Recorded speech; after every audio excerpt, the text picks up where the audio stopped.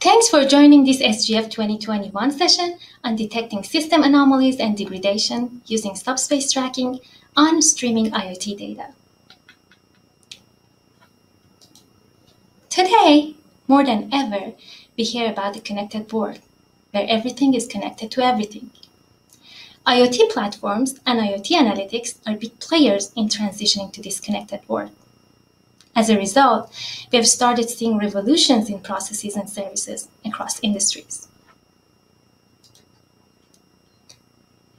Traditionally, the streaming data is being gathered in the data warehouses or in the cloud, and then modeling happens on this historical data, and predictions and decisions are made based on these models.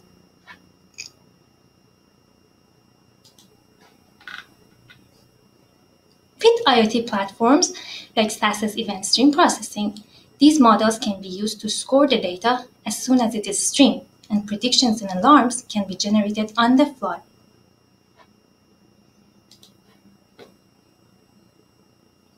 Also, in some of the methods implemented in SAS's event stream processing, we go one step further.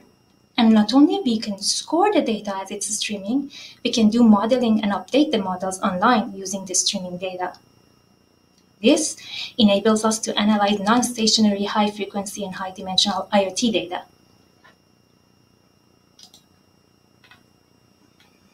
In this presentation, I will talk about such an online model for anomaly and degradation detection called subspace tracking, which is implemented in SAS ESP.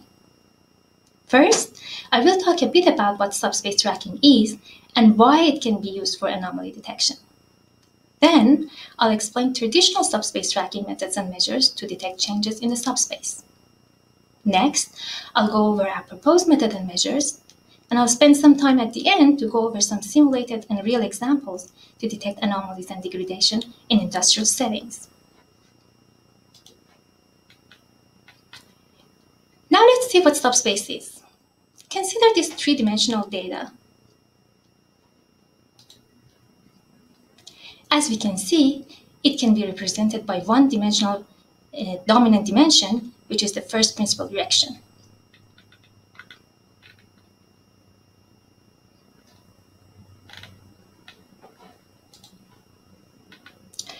IoT data are usually high dimensional. An average car can have about 100 sensors. But the catch is these sensors that represent an operation of a machinery or a set of machines in the same environment are usually highly correlated. As a matter of fact, in most cases, there is a low dimensional underlying subspace of these high dimensional data.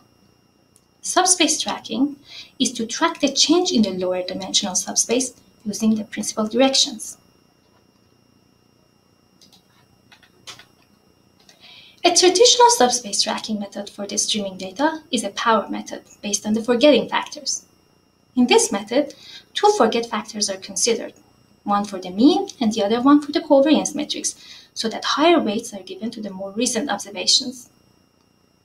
With each streaming data, the mean and the covariance matrix get updated based on these forgetting factors. However, we have observed that setting the forget factors uh, is not trivial at all. Also, traditionally, three measures from each computed subspace is used to track the change in a subspace, which are rank, residual, which is a reconstruction error, and the projection angle, which is the angle between the new observation and the subspace spanned by the current observations. A large projection angle can indicate that the entering observation is an anomaly. However, as we are going to demonstrate shortly, many times tracking the rank or the other traditional measures doesn't show the actual change in the subspace. Also, sometimes the relatively larger projection angle can be the result of noise. So tracking these traditional measures may not capture the subspace change in the case of non-stationary IoT data. In this presentation, we introduce another subspace tracking method, which is based on the sliding window concept. With the arrival of each new observation, a new window is built based on this new observation and all the other observations in the last window except for the oldest observation in the last window. Next, the subspace is created based on the observations in this new window. In this sliding windows method, compared to the forget factor based method, a more natural parameter needs to be set, which is the window length. It can be a natural period of time, like an hour or a day. Also, to track the subspace, instead of considering the traditional measures of change in the subspace, we introduce two new measures, principal component angle change and principal component absolute angle. But before the formal definition of these measures, let's see the intuition behind them.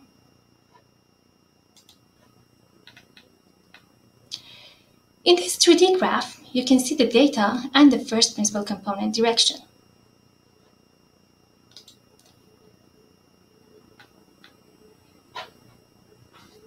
With the sliding window concept, when we get a new streaming observation, a new first principal direction is calculated based on the subspace spanned by this new window.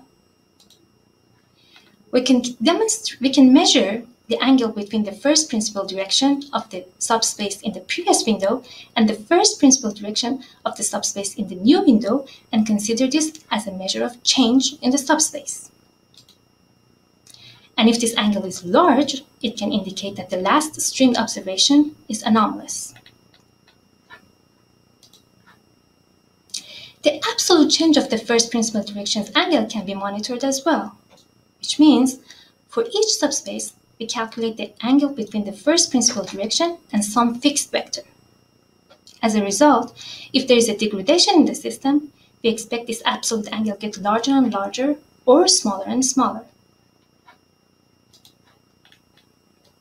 Here is the formal definition of these measures, where vector vi is the first principal component of window vi, window i, and e is a fixed vector. We can use the principal component angle change for detecting anomalies and use the absolute angle to detect the degradation. Here is the process flow for subspace tracking using the sliding windows. With each streaming data, we create the associated window and we compute the first principal direction and the associated subspace angles. Next, we measure the change in the angles and if it is more than some pre-specified threshold, we might detect anomalies or degradation in the system. Now, let's take a look at some examples where we use subspace tracking to detect anomalies and degradation and in these examples, we use SAS event stream processing, which has embedded analytical tools like subspace tracking. The first example is to detect degradation in wind turbines.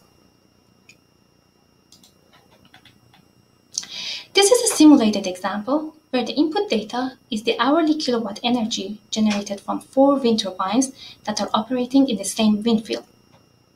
The data is simulated such that at hour 600, turbine number 4 starts to degrade. We want to detect this degradation as early as possible. Looking at the energy production of these turbines, it is hard to see the degradation in turbine 4 for a while after it happens. However, when we use the subspace tracking in SAS ESP and monitor the PC absolute angle change, we can clearly see the increase in the angle when turbine 4 starts to degrade.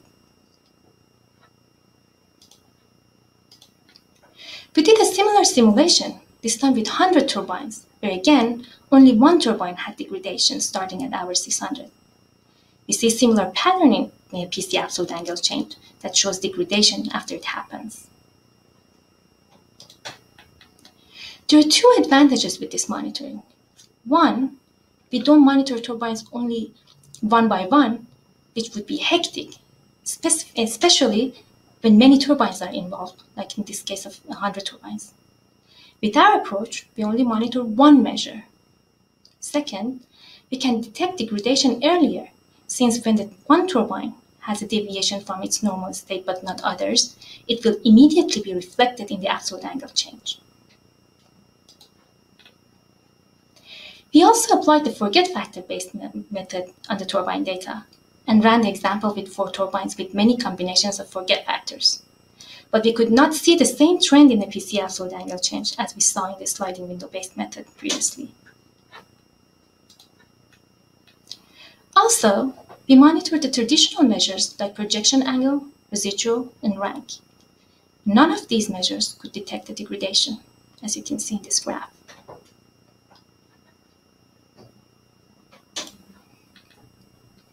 The next example is on the vibration data collected from multiple sensors on a machine with rotating gears. Vibration data are collected every microsecond from three accelerometer readings and measured in volts. 10 minutes after the start of the data collection, we induced a fault on the system, causing degradation in the system. This is the voltage reading from the accelerometers. The red area on the right is the voltage values that are related to the time after the disturbance has happened.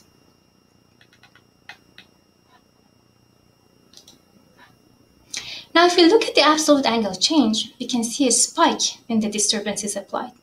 But then, absolute angle change goes below the threshold since the system goes back to normal state.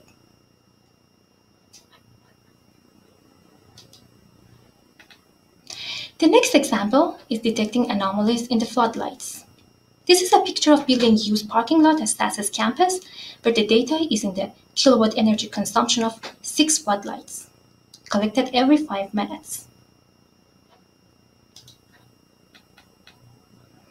In this graph, you can see the daytime and nighttime energy consumption. There is energy consumption at night, but no energy consumption during the day. Around time 4000, we see a spike in energy consumption during the day for all lights, which is strange. However, this is an environmental condition, not associated with anomaly any of the lights.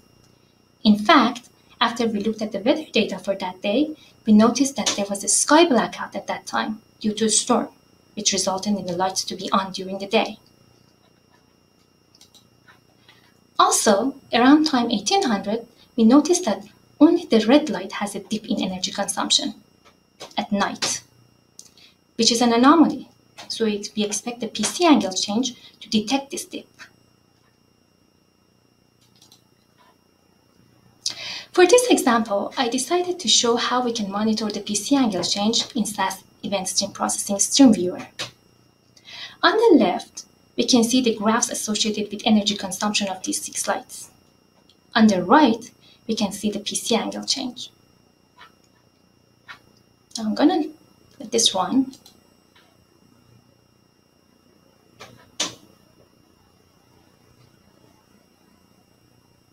We can observe that for the dip that is going to come at time 1800, there's a spike in the PC angle change right here. This is a bit slow here, but if I had let it run, we could have seen that for the blackout event around time 4000, no such spike is observed, which is expected since it's an environmental issue that affects all the lights, not an anomaly associated with any light.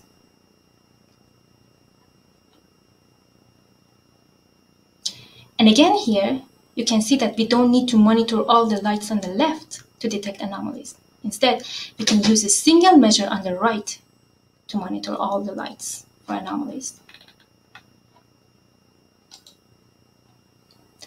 The next example is to detect a snow day in the solar farm.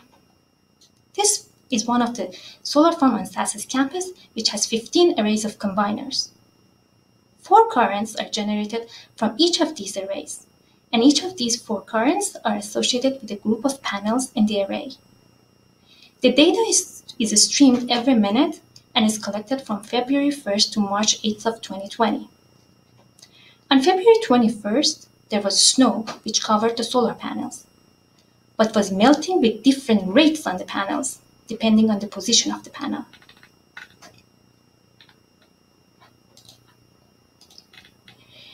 In this graph, we can see the value of four currents from one combiner box between February 16 and February 29. Note that the values of currents fluctuate from day to day, depending on the irradiance and the amount of sunlight in a day. However, the pattern of currents generated is the same. These daily variations in the currents are observed in the currents of other combiner boxes as well. The snow day is marked in red here. On this day, the snow covers the panels at night and melts off of the solar panels throughout the day at different rates depending on the position of the panels. As a result, the effect of the snow on the currents generated from the panels is not the same throughout the day. Looking at the PC angle change over time, we can see that there is a spike in the angle change for the first window that includes the snow day and for the first window after that that does not include the snow day, which are clearly indications of subspace change. Note that here, we detect the environmental change through subspace tracking because the effect of environment change was not the same on the panels since snow melted at different rates on the panels. However, when the effect of the environment is the same on the panels, like on the cloudy or rainy days before the snow day, the pattern on the generated current is the same.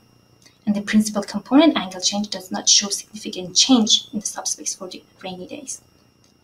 If we get deep into the math behind this, it's all related to the effect of the environment change on the correlations in the covariance matrix and its effect on the subspace. When the environment effect is the same, the correlations doesn't change. However, when the environment effect is not the same, there is change in the correlations. This example was to use subspace tracking approach to detect the snow day, but it can easily be extended to the cases where there is failures in the combiner boxes or panels. So through these examples, I hope you get a glimpse of what subspace tracking is and how we used it to detect anomaly and degradation in the system through, the, through our defined measures, which are principal component angle change and principal component absolute angle. These methods are online methods and can easily be employed in high frequency and high dimensional IoT applications and sensor data. We do need a warm start period for the subspace to be stable at the beginning. However, no pre-training is required in these methods, and they can directly be applied on the streaming data. Setting the threshold on the principal component angle change and the absolute angle should be relatively easy by observing the, these measures through the normal state of the system. In many cases, setting the window size is relatively easy because um, it's tied to a meaningful period of time, like an hour or a day. Also, the methods described in this presentation are unsupervised, so no labeling is required. Yay! At the end, I would like to thank my collaborators Kyungduck Cha and Carol Sedek and the entire IoT R&D team at SAS for their contributions and input to this work. Thank you.